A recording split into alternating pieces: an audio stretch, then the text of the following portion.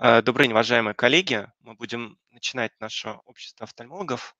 Сегодня у нас на повестке дня глаукома. Ну, а, традиционно мы начнем с контроля присутствия и проведем опрос. Сейчас мы его запустим. Пожалуйста, подтвердите, что вы присутствуете на платформе и вы активно можете участвовать в мероприятии. Сейчас запустим.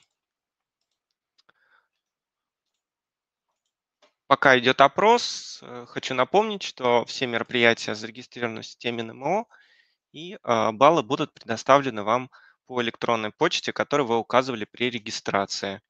А, некоторое время занимает оформление документов, поэтому, пожалуйста, наберитесь терпения, и в, в течение, где-то в течение месяца вам придут документы. Так, ну уже Практически все участники у нас подтвердили присутствие. Немножко подождем. Некоторые задерживаются подключение.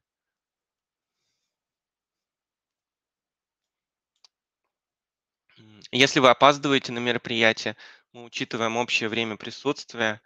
Тоже не переживайте. Э, все, кто а, смотрел вебинар, все получат баллы.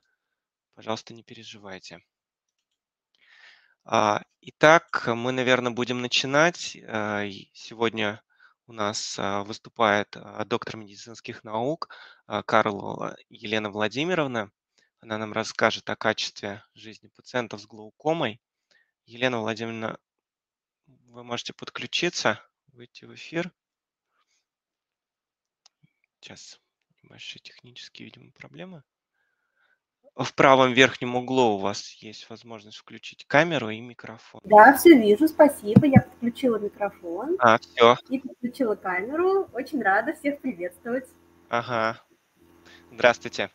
Вас видно, и э, я передаю вам слово. Спасибо.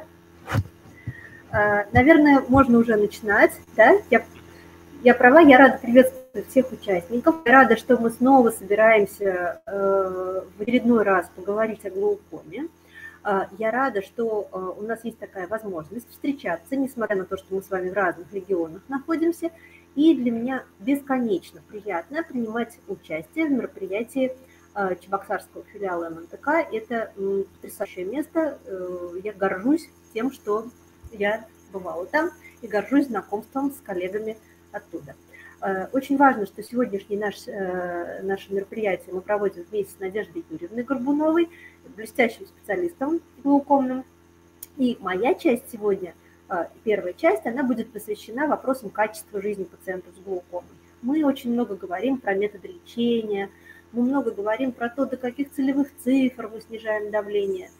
Но иногда, и я сужу по своим докторам, своим коллегам здесь у себя, мы иногда чисто механически подходим ко многим вещам, э, зачастую не успевая просто ставить себя на место глаукомного пациента и понимать, а как, собственно, живется нашим с вами пациентом, и это очень важно. Это происходит во многих вопросах и в лечении глаукомы, и в катарактальной хирургии, когда очень много ограничений есть для наших пациентов. Этого вопроса дальше Надежда Юрьевна коснется.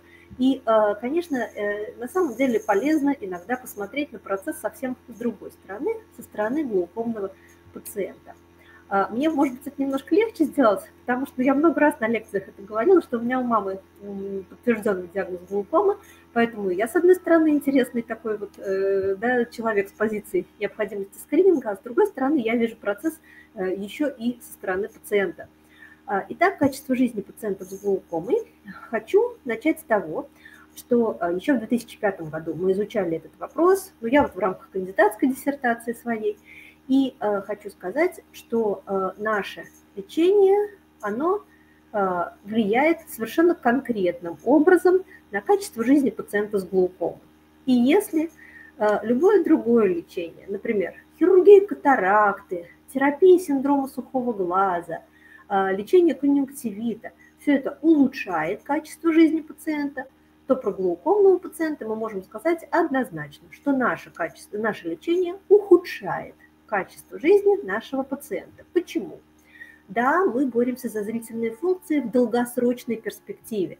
Да, мы боремся за то, чтобы наш пациент прожил свою жизнь зрячим, чтобы его жизнь была качественной. Но это в долгосрочной перспективе.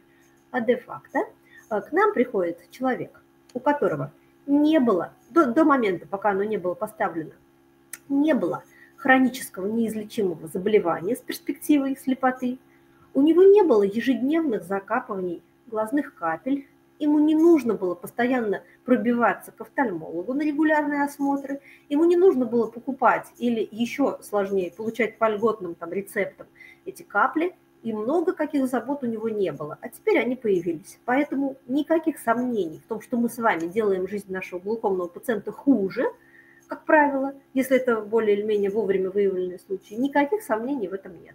И это подтверждено э, исследованиями, соответствующими методами, это опросники, конечно же, в основном. А, и главные проблемы наших пациентов связаны с процессом использования глазных капель, потому что это надо делать регулярно, не забывать, потому что капли имеют побочные действия в ряде случаев, они стоят определенных денег, и все это создает дополнительные сложности в жизни пациента с глаукомой. А, плюс сама постановка диагноза. Обратите внимание, есть такая прекрасная публикация 2015 года, которая, а, являясь научной публикацией в очень уважаемом журнале, а, при этом содержит только цитаты. Цитаты из высказываний пациентов. И как раз эта публикация посвящена жизни с глаукомой, качеству жизни наших пациентов. Итак, смотрите, в красном прямоугольнике я хочу обратить ваше внимание – Э, на то, что наша пациентка э, сказала в тот день, я легла спать, оставила дверь открытой в день постановки диагноза, потому что подумала, что если я проснусь слепой, то хотя бы дверь будет открыта, и я смогу выйти.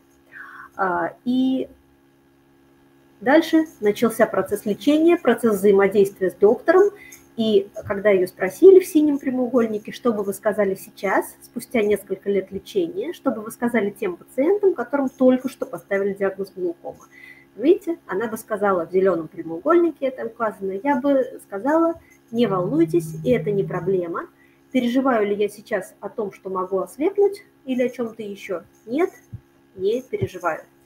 И вот здесь ключевой становится роль наша с вами, роль офтальмолога, который сопровождает пациента на вот этом пути, на пути лечения глаукомы, сопровождает его на самом деле всю его жизнь.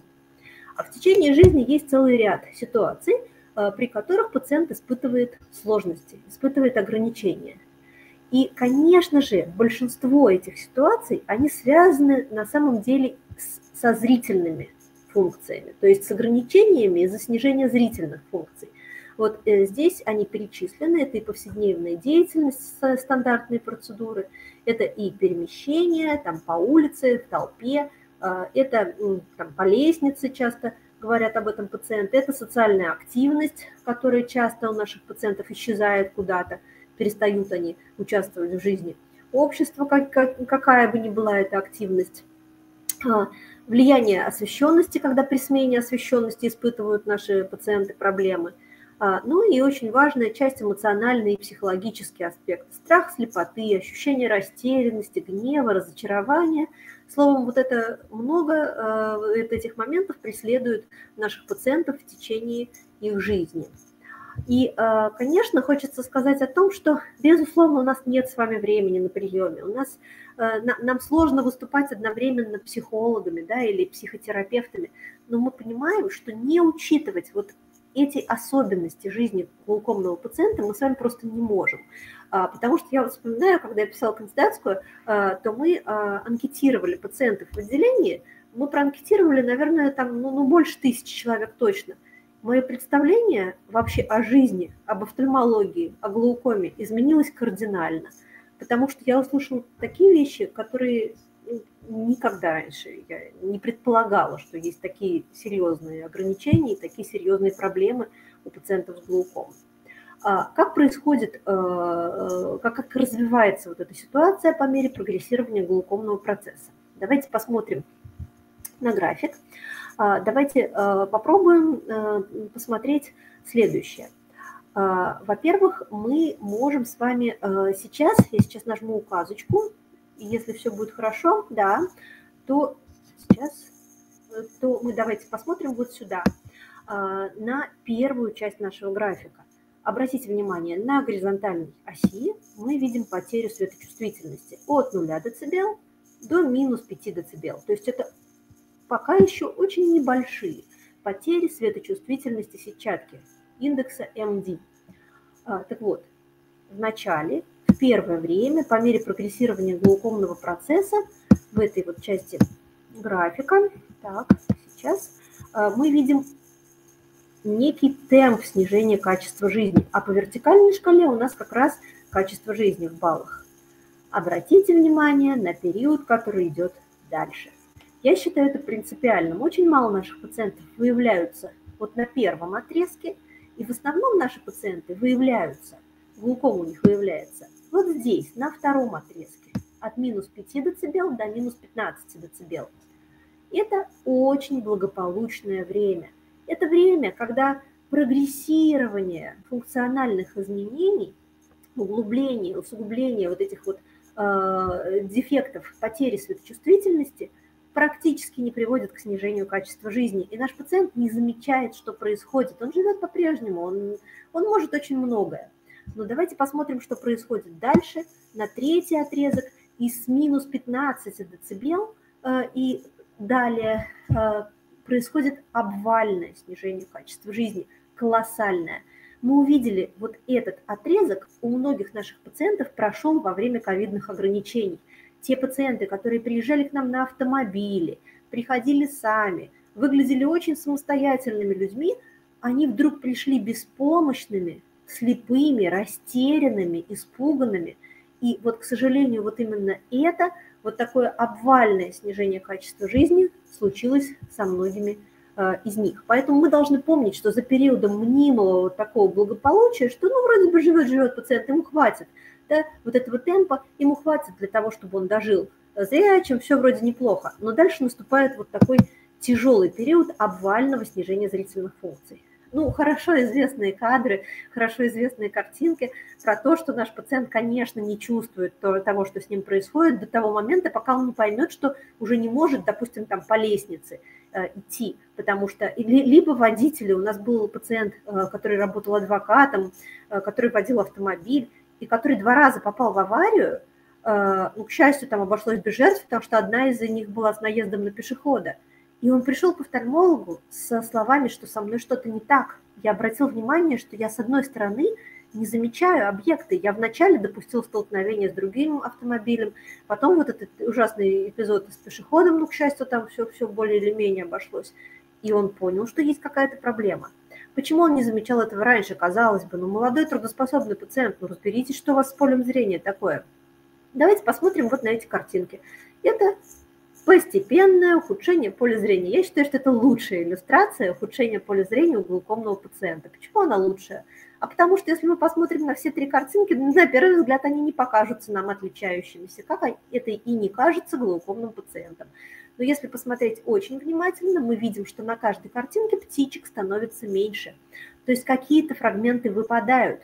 Но это ни в коем случае не черные пятна и не серые пятна, а это все те же веточки, которые здесь видны, а потому что наш мозг достраивает отсутствующие изображения, и картинка нам по-прежнему кажется вполне естественной. Иными словами, наши пациенты, к сожалению, замечают изменения, и качество жизни их серьезно страдает уже на очень и очень поздних стадиях процесса. Э, есть хорошая статья на эту тему, которая как раз и показывает данные опроса пациентов о том, как выглядят глаукомные дефекты для них. И мы видим, что ни у кого это не темный тоннель, конечно же, а, а абсолютное большинство всех ситуаций – это либо размытые участки, которые не сразу даже понятны, а, это без симптомов полностью картинка, или выпавшие участки. Вот так это будет выглядеть в реальности. И ни один пациент не придет к нам рассказывать, что у него есть темные какие-то фрагменты где-то в полях зрения. А, возвращаясь э, к теме, как мы можем на это все повлиять, э, дело в том, что не только наше лечение влияет на качество жизни, ухудшая его, но еще целый ряд организационных моментов, связанных, собственно, с организацией этого самого нашего с вами лечения. И здесь вот в работе, которую мы проводили, тогда мы обнаружили, что есть существенная разница, например, между такими категориями, как городские и сельские жители. А, и а, здесь разная структура ограничений. Если в сельских районах это были ограничения там, физической активности, больше имели значение для пациента, недостаток знаний о заболевании, низкая доступность помощи, то есть это все мы тоже должны учитывать. Поэтому, конечно, тема эта интересная и важная, и не только при нашем общении с пациентом это важно учитывать, но и, конечно же, в организации противоглаукомной работы – потому что, а, ну, ковид вроде как, да, вроде как заканчивается. Э, коллеги Минздрава, да, вчера, по-моему, она была, на которой обсуждалось, что все, мы входим в плановое русло по всем видам помощи, э, соответственно, и глаукомные проблемы э, снова становятся очень и очень важными. Собственно, для нас они актуальность свою и не теряли. Важно то, что наши пациенты, поскольку лечатся они всю жизнь, то по мере лечения они приобретают опыт. Конечно, лучше было бы, чтобы опыт они приобретали не в очередях, друг с другом общаясь, э, сидя к нам в очереди и обсуждая, а лучше бы, конечно, чтобы они приобретали опыт как-то все-таки немного источником этого опыта были бы какие-то научные знания, об этом я скажу несколько слов. Но важно то, что опыт по-любому приобретается по ходу лечения, и важно то, что э, очень многие вещи меняются. Здесь представлены данные о том, о результатах опроса пациентов, э, которые только-только начинали лечение. И это э, у нас э, зеленые. Так, секунду, это у нас, да, зеленые данные, зеленые кружочки.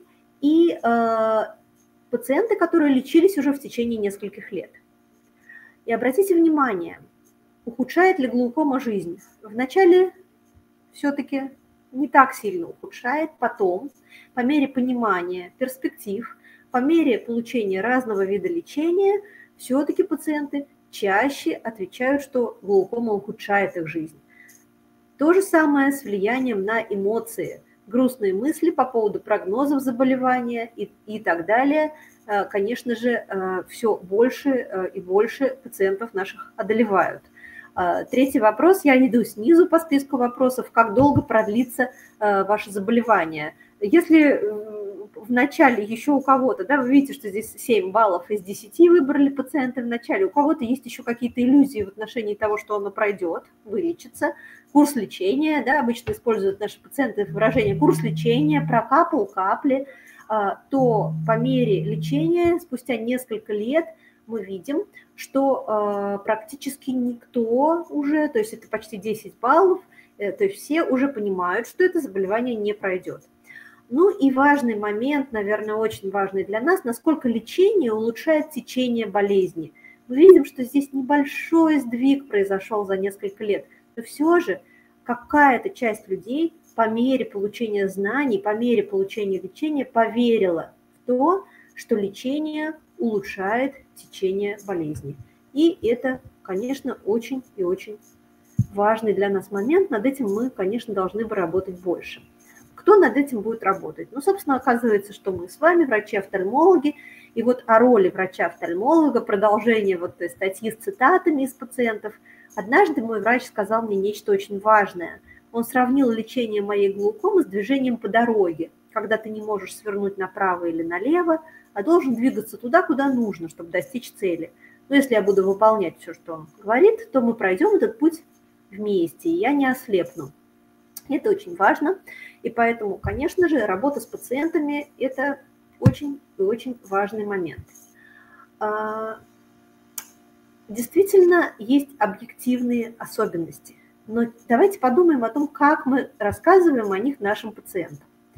А, у нас есть конкретные данные. Мы знаем, что глаукома – хроническое неизлечимое заболевание, приводящее к специфической атрофии зрительного нерва. Как это воспринимают пациенты? Это значит, что наша болезнь моя никогда не пройдет, и состояние может только ухудшиться. Дальше. Мы владеем своим статистикой. Мы знаем, что в России более 1,3 миллионов больных глаукомой. Это главная причина слепоты и слабовидения в Российской Федерации. Как воспринимают эту информацию пациенты? Они думают, что да, действительно, много людей болеет, много людей слепнет. Значит, хорошего лечения еще никто не придумал. Наверное, я тоже ослепну. Вот примерно так это выглядит со стороны пациентов. И надо сказать, что это не очень радует. Важно еще и то, что даже как бы обращая внимание уже на конкретные методы лечения, мы, как правило, не успеваем сделать очень понятных и простых вещей. И в частности, мы не успеваем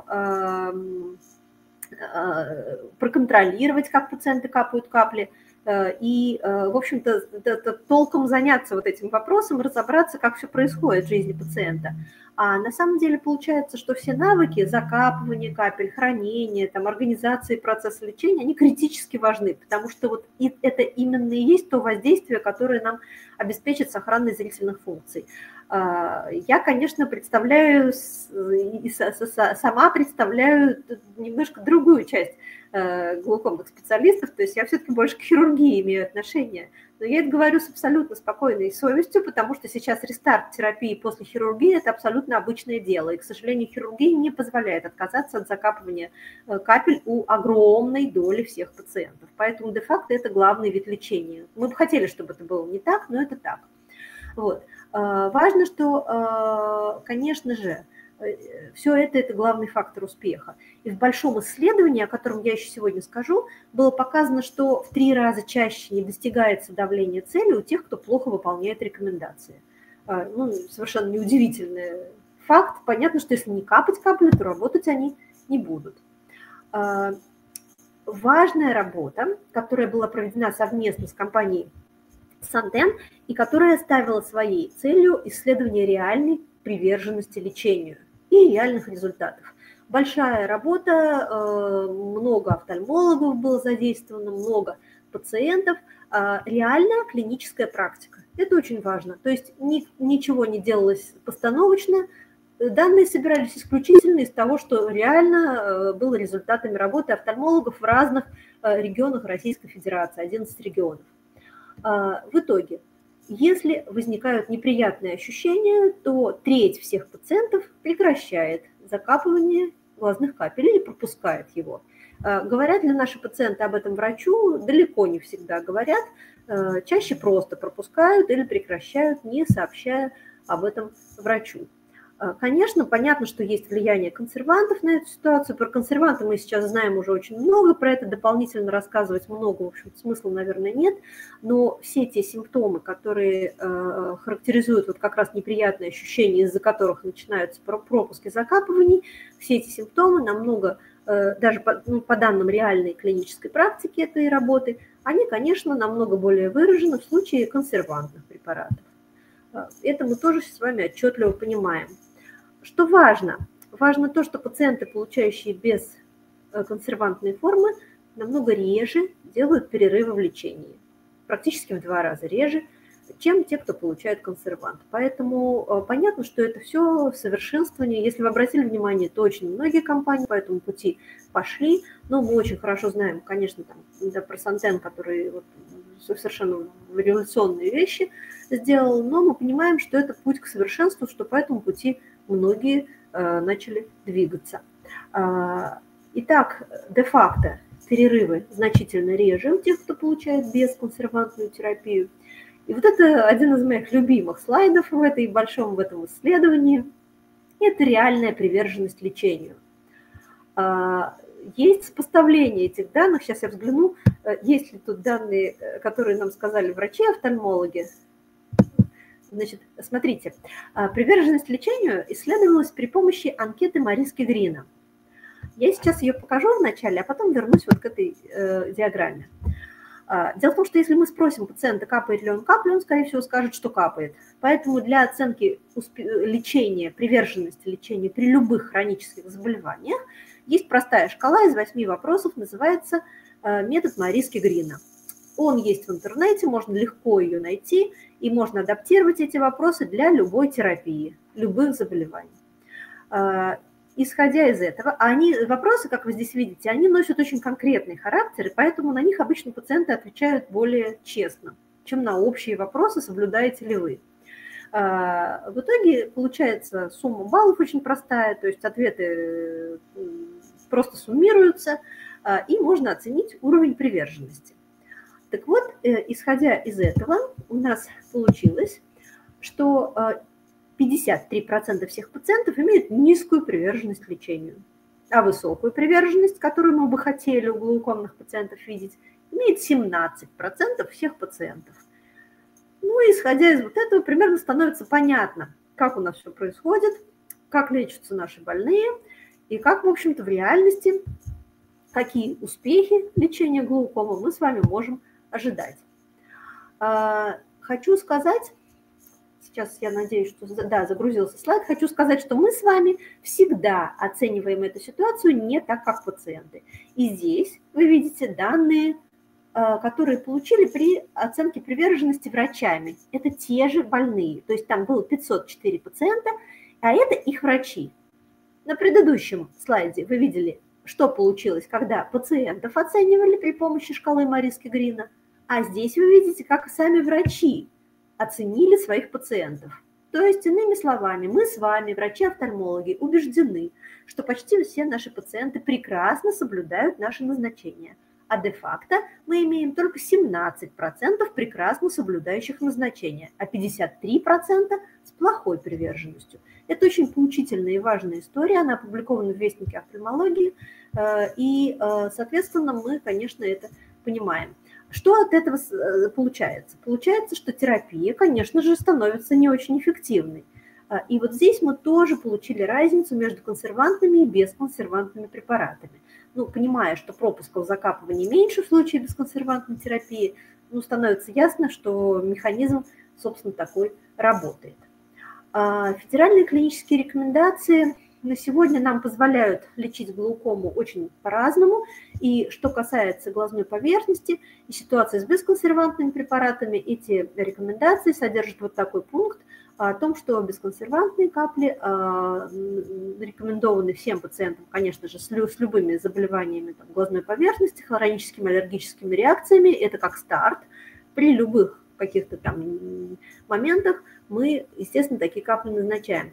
Вот хочу сказать, что если мы с вами предвидим многолетнее лечение, то, конечно, мы должны понимать, что хотелось бы э, получить итоговую ситуацию, э, все-таки более или менее подходящую для хирургии. Хотелось бы получить хорошую конъюнктиву, хорошую глазную поверхность.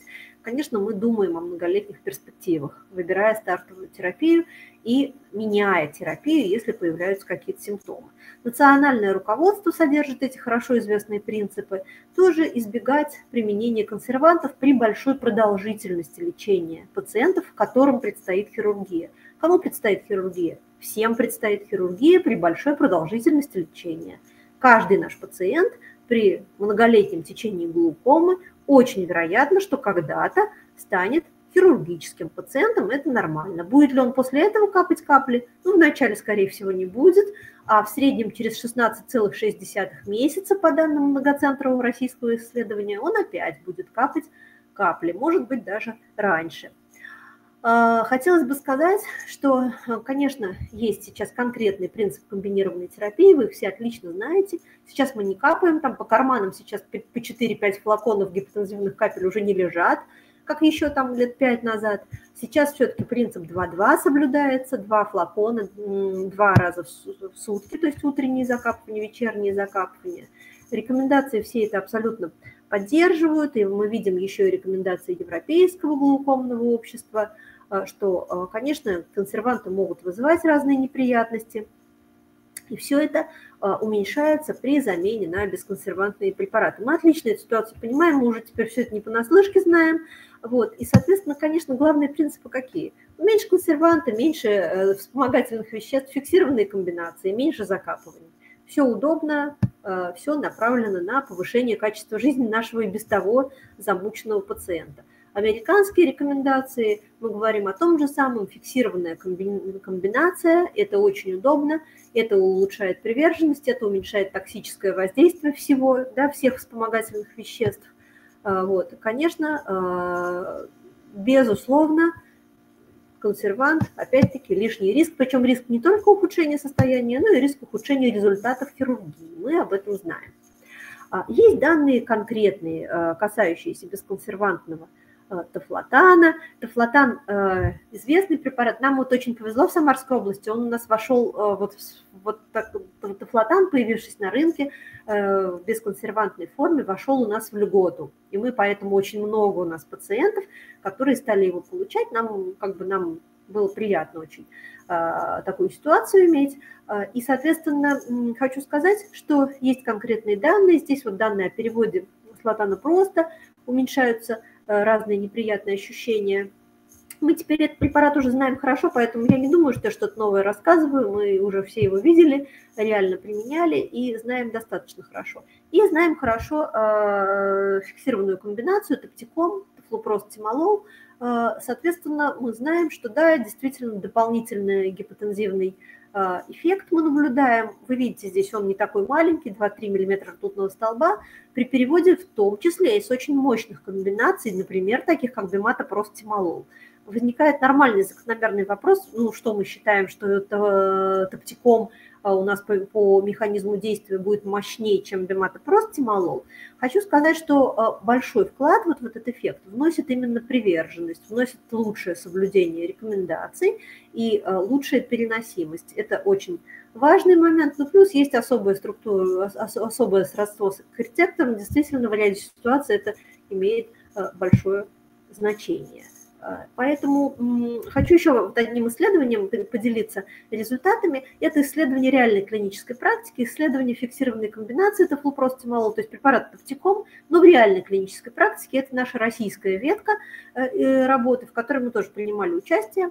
И э, хочу сказать, что действительно э, пациенты приходили у нас для перевода, переводились в сторону усиления, менялся режим, назначалась комбинация тафлопрост-тимолол, а, и мы, правда, увидели значимое снижение симптоматики, и вот российская ветка, суммированная, она дала вот такие результаты. Это и уменьшение сухости, уменьшение раздражения, уменьшение зуда – и уменьшение чувства инородного тела. Вы видите здесь проценты, доли э, уменьшения этих симптомов. Что ценно для нас в этой работе? Ценно то, что это реальная клиническая практика. Это всегда важно, потому что так, конечно, много чего написано красивого и правильного.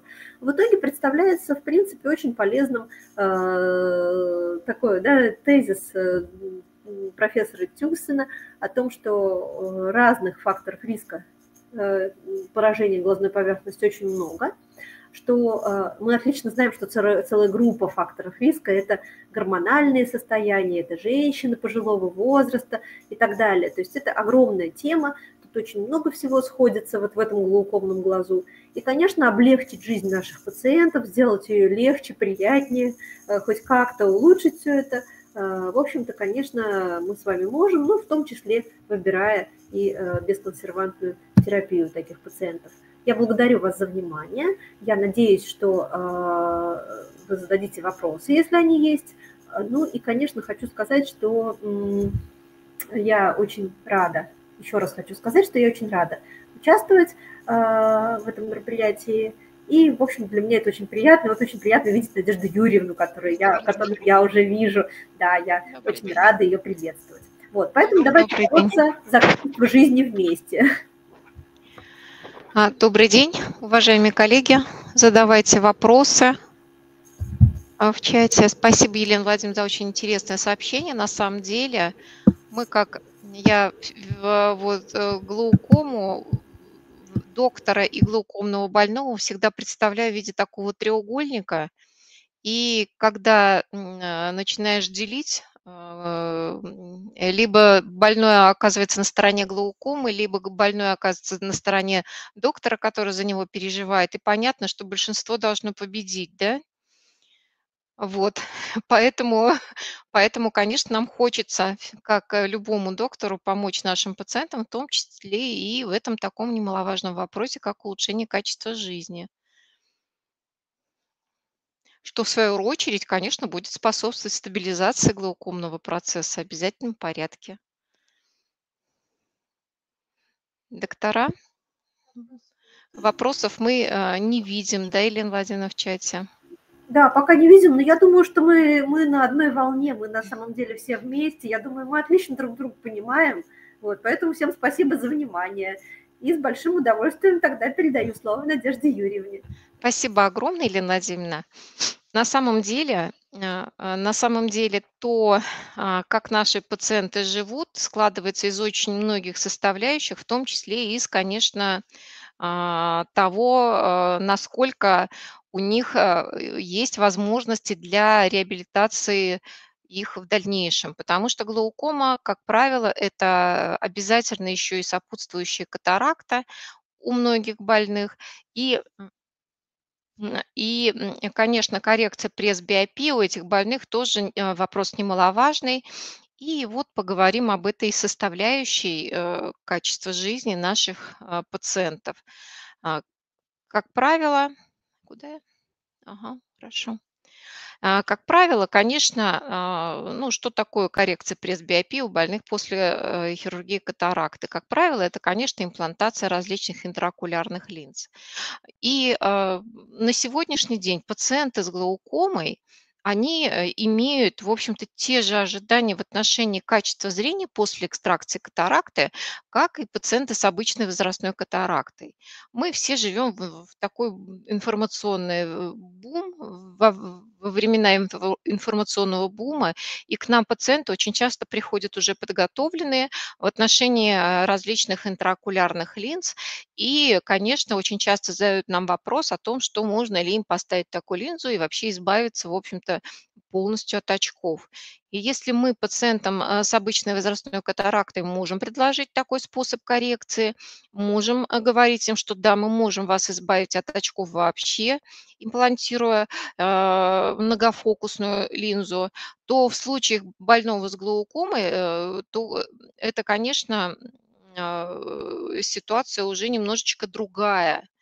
И вот воз, имеют ли наши пациенты с глаукомой возможность коррекции пресс-биопии, этот вопрос встает очень часто и достаточно у многих пациентов, потому что э, катаракта а, молодеет, глаукома молодеет, и возможность, необходимость э, Э, факомультификация катаракты наступает достаточно рано. Понятно, что это часто работоспособный возраст, и наши пациенты хотят иметь хорошее зрение а, и вдали, и вблизи, не пользуясь очками. А,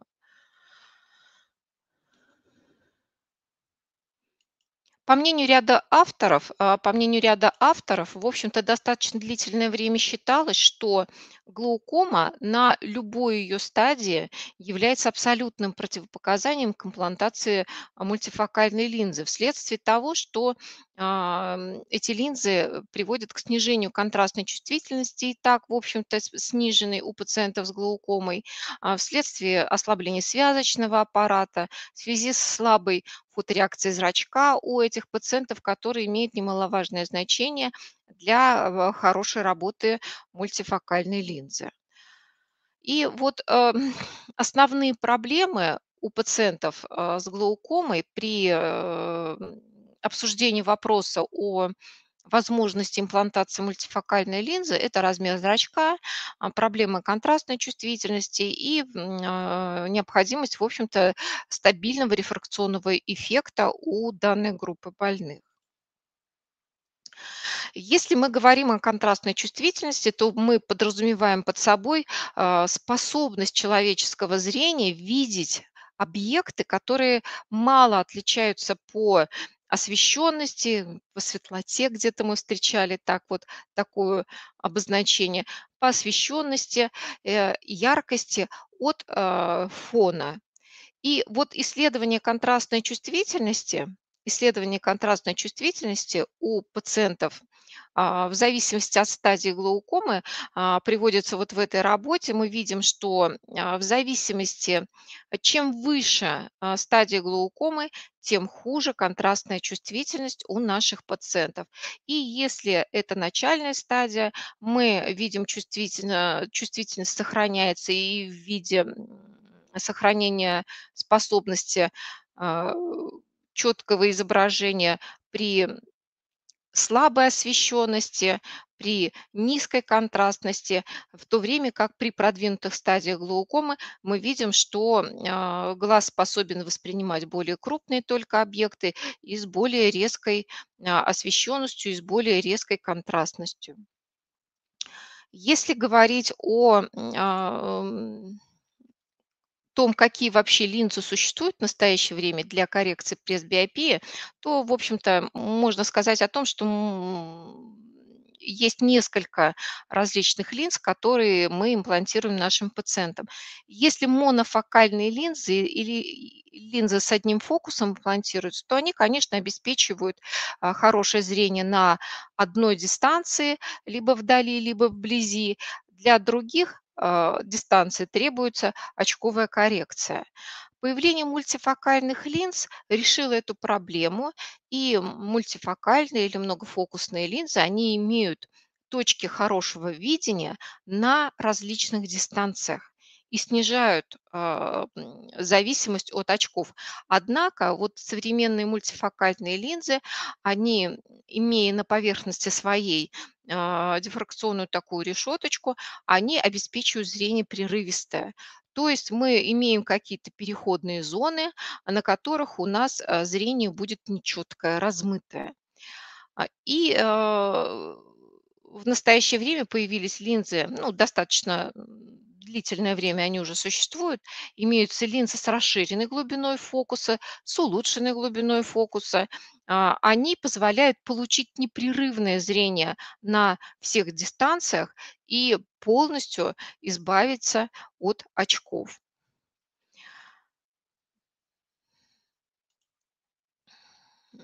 На самом деле все линзы мультифокальные, они в той или иной степени влияют на потерю светового потока. И, в общем-то, вот на этой таблице представлены а, те, те проценты потери светового потока, которые а, были отмечены в той или иной мультифокальной линзе.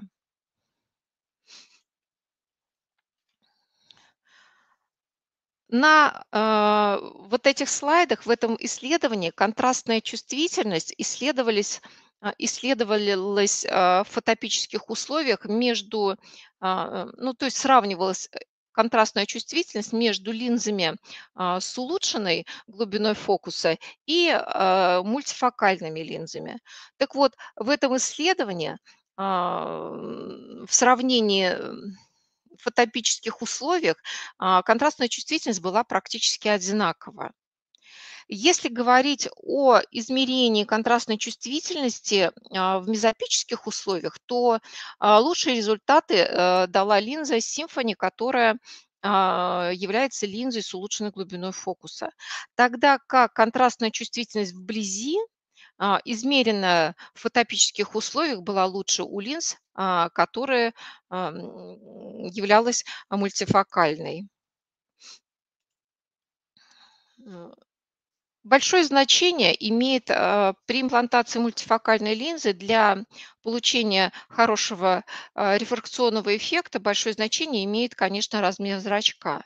Вот в исследовании, которое приведено вот на этом слайде, а, была продемонстрирована корреляция, значительно положительная корреляция размера зрачка с размерами ореолов после операции при использовании, в общем-то, обеих а, линз, как Symphony, так и а, Panoptix.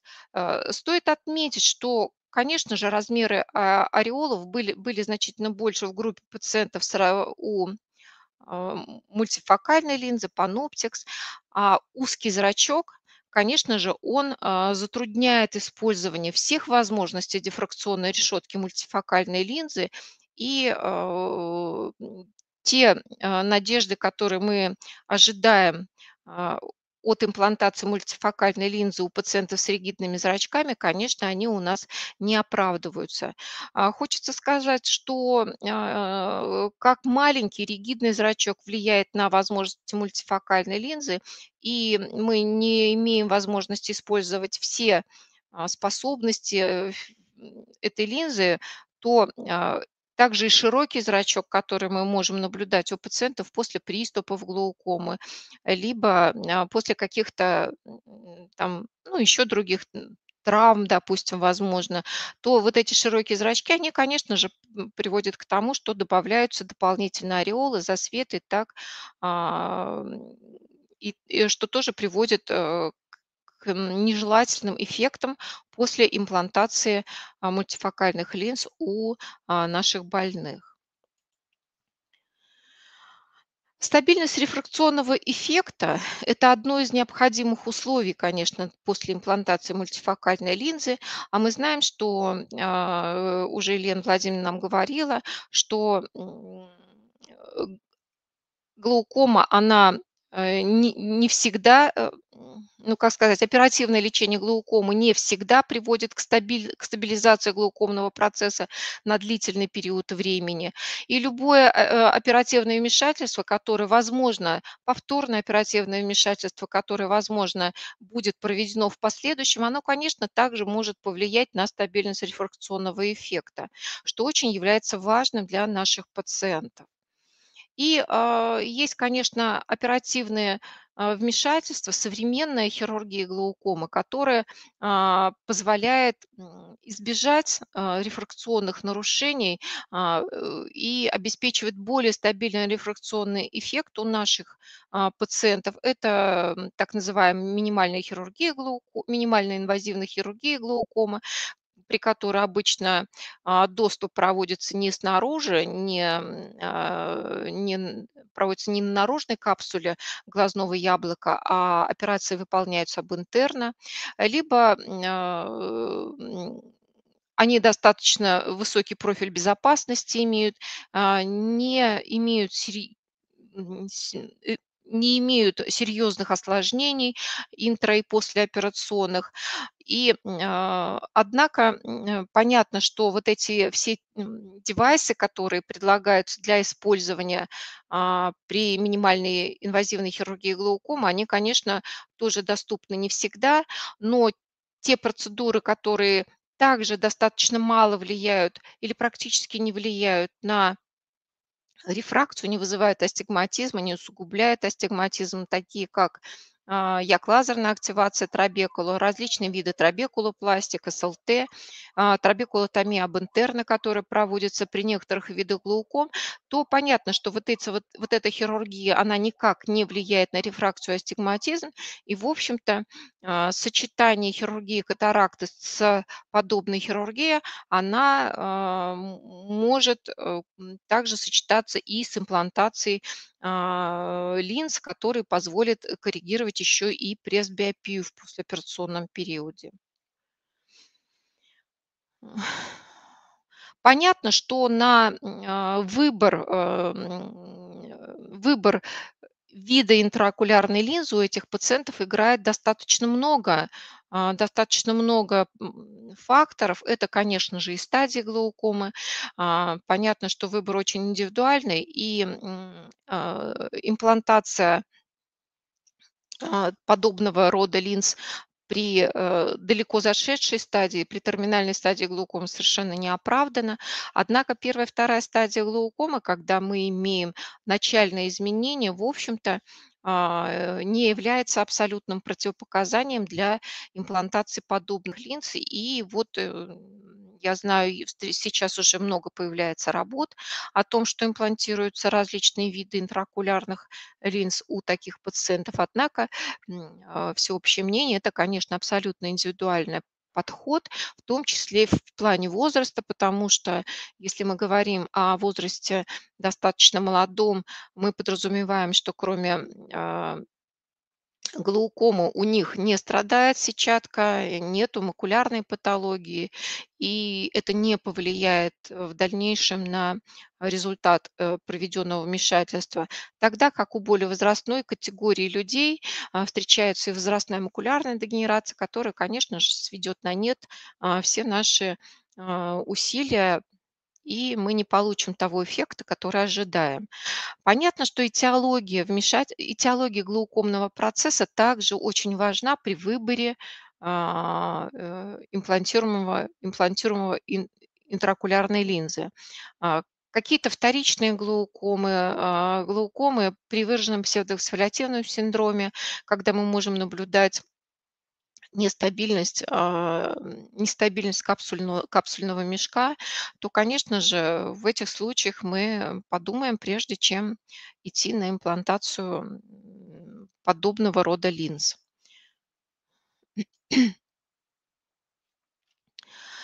Еще один фактор, который также будет влиять на выбор интраокулярной линзы у этих пациентов, ну и, а, возможно, даже с точки зрения, коррек... Э, с точки зрения точной, точного определения рефракции, это, глу... это прекорниальная слезная пленка у наших пациентов.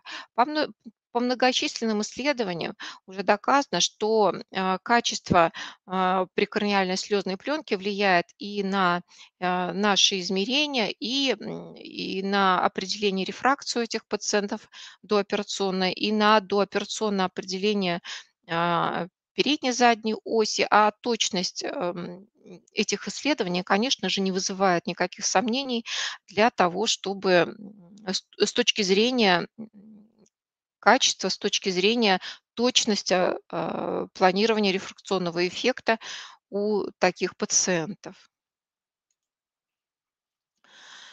Ну, а, EDOF– это EDOF, эм, английская аббревиатура интраокулярных линз, Extended Depth of Focus ИОЛ, что в дословном переводе означает линза с увеличенной глубиной фокуса, но мы в литературе встречаем и а, интраокулярную линзу с улучшенной глубиной фокуса. А, впервые возможность, впервые идею вот расширения э, глубины фокуса опубликовали в 1982 году японские ученые а, Наказава и Ацуки. Они наблюдали а, аккумуляционный эффект в две диоптрии при имплантации а, при имплантации монофокальной линзы у 39 пациентов после экстракции катаракты. В общем-то, и в свое время это, конечно, натолкнуло на разработку вот этих линз с улучшенной глубиной фокуса.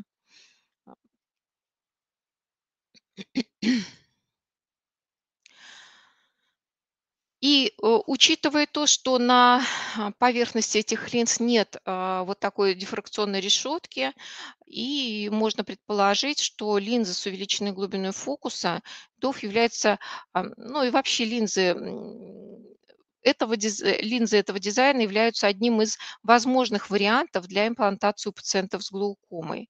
Данный тип линз э, лишен перекрытия ближних и дальних расстояний, э, перекрытие ближних и дальних изображений, э, которое наблюдается при имплантации стандартных классических мультифокальных линз, и тем самым устраняется гало-эффект, у этих пациентов, а также в результате э, своего дизайна он лишен влияния ширины зрачка на зрительные функции.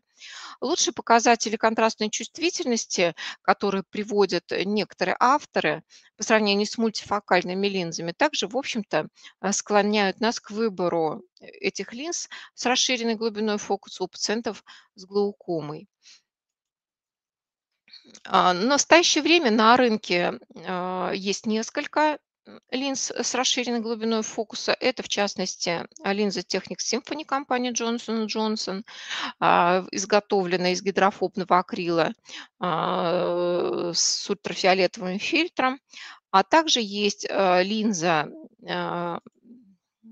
Lensis Comfort, а, которая изготовлена из гидрофильного акрилового полимера с гидрофобной поверхностью и ультрафиолетовым фильтром. Вот эти две линзы, они имеются на рынке и, в общем-то, достаточно широко используются. А, в частности, э, нами в свое время Мы в свое время захотели, в общем-то, попробовать, конечно, имплантировать эти линзы у пациентов с глаукомой, тем более, э, как я уже говорю, таких пациентов становится все больше, и а, требования их к качеству зрения возрастают, и то, что появилась возможность имплантировать такие линзы у этих пациентов, в общем-то, а, это очень хорошо. В, на, в настоящее вот исследование достаточно, это, это первые совершенно результаты имплантации а, этих линз у пациентов с глаукомой. А, линзы были имплантированы в 10 глаз 7 пациентов. А, в четырех случаях имплантация была монолатеральная, нет, не в четырех, в семи случаях имплантация была монолатеральная, Ой, запуталась, простите. Ой, в четырех случаях имплантация была монолатеральная, а в трех случаях в шести глазах, конечно, билатеральная. Вопрос, э, возраст пациентов составил 61 до 81 года. Некоррегированная острота зрения, острота зрения вблизи измерялись в первый день после операции, а также э, через 2-3 месяца. А, также через 2-3 месяца выполнялась компьютерная периметрия по программе 32.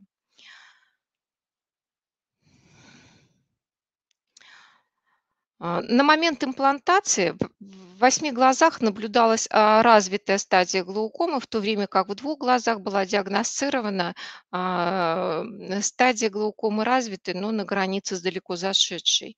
Но по настойчивой просьбе больных мы все-таки предприняли После, конечно, длительной предварительной беседы мы а, имплантировали им э, эти линзы, и оперативное вмешательство, конечно, выполнялось а, лишь при условии компенсации внутриглазного давления. А причем а, в четырех э, из шести случаев удаление было скомпенсировано медикаментозно, в двух выполнена антиглукоматозная операция. У пяти пациентов был диагностирован закрытый угол передней камеры, открытая угольная глаукома наблюдалась в двух глазах двух пациентов.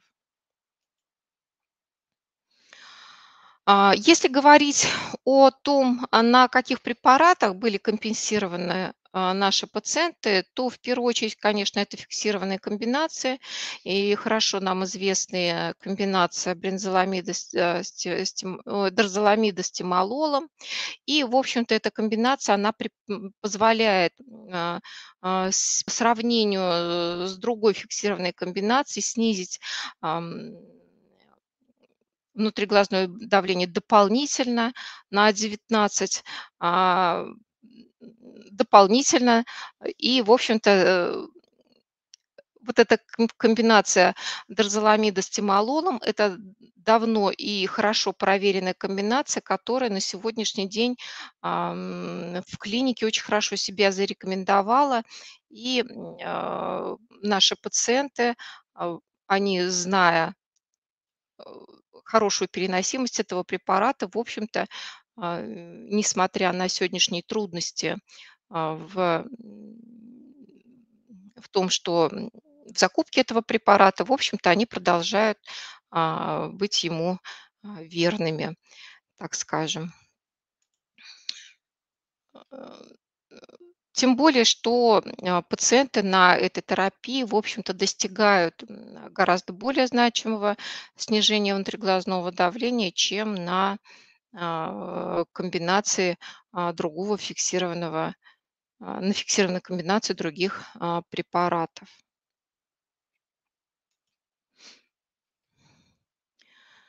Ну, как я уже сказала, что очень хорошая переносимость, очень удобное использование препарата э, дрозоламида с тимололом, в общем-то, оставляют своих приверженцев. А, и этот препарат мы по-прежнему рекомендуем к использованию как в качестве дооперационной подготовки, так и в качестве послеоперационного а, ведения. Вот если говорить о а, тех пациентов, которые были прооперированы, которым была имплантирована эта линза, то хочу сказать, что ну, если в среднем до операции э, максимально коррегированная острота зрения составила 0,4, а, и все пациенты нуждались в дополнительной очковой коррекции для работы на близкой дистанции, то после операции некоррегированная острота зрения составила единицу. а, то есть 100% в 9 глазах и 0,6 у 81-летнего пациента с далеко зашедшей стадии глаукомы. Но а, этот пациент вблизи а, имел зрение, читал свободно пятый шрифт и был очень доволен. а, все пациенты могли свободно читать газетный шрифт, и а, среднее внутриглазное давление до операции составило 20 миллиметров ртутного столба, и, в общем-то, после операции на фиксированной комбинации дрозоламида и тимолола, в общем-то, это давление не повышалось.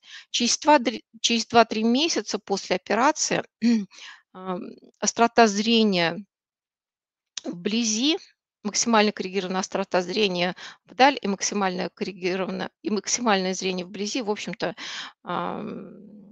и давление, в общем-то, были стабильными у всех пациентов. Вот в нашем исследовании по данным компьютерной периметрии динамика показателей светочувствительности сетчатки оставалась стабильной во всех случаях.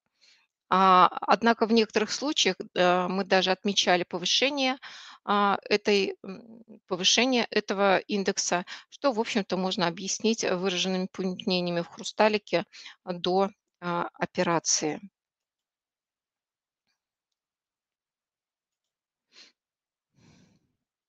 Хочу сказать, что, хочу сказать, что возможность перехода а, после операции а, у некоторых пациентов, э, возможность смены гипотензивного режима после операции у некоторых пациентов на бесконсервантные формы, бесконсервантные формы аналогов простагландина, эта возможность объясняется тем, что у некоторых пациентов с закрытой угольной глаукомой мы достигали снижения давления и перевод на монотерапию а, за счет того, что была удалена основная причина.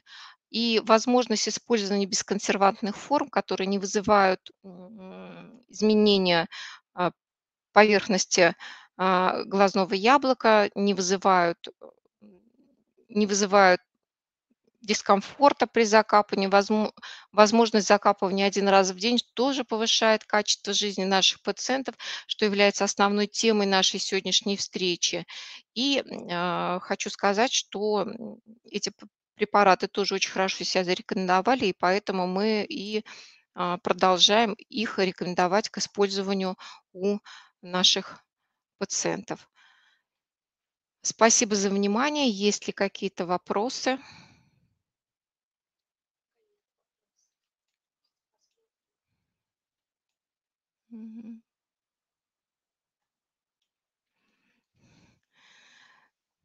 Спасибо огромное. Да, я в заключение хочу сказать, что э, очень хорошо, что у нас появляется такая возможность помочь нашим пациентам с глаукомой и в этом а, смысле, потому что когда тебе передают приветы от этих пациентов, которые имеют двустороннюю имплантированную а, линзу с улучшенной глубиной фокуса и говорят, что э, человек избавился от очков, он видел а, вдаль, допустим, с плюс 2, для близи четыре с половиной, и сейчас абсолютно ходит без очков. Конечно, это стимулирует к дальнейшему изучению этого вопроса и дальнейшему подбору. Э, конечно, это необход... требует необходимости дальнейшего изучения, более тщательного изучения, а, долго... долгосрочного изучения, но тем не менее оптимистичные первые результаты а, ни в коем случае не освобождают нас от дальнейшего изучения, поэтому мы будем продолжать работу в этом направлении. Контроль качества.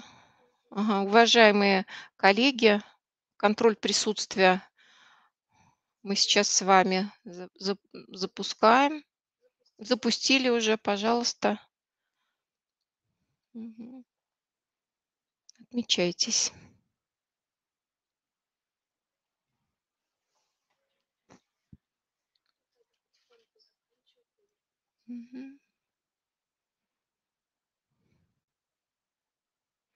Мы, наверное, с вами будем потихонечку заканчивать нашу встречу. Спасибо большое всем за внимание, Елена Владимировна. Большое спасибо и, спасибо. конечно, самые лучшие пожелания и надеюсь, что очные наши встречи не за горами. Да, Будем встречаться. Спасибо огромное, Елена Владимировна. Всего доброго. Спасибо. Коллеги, до свидания. Всего доброго.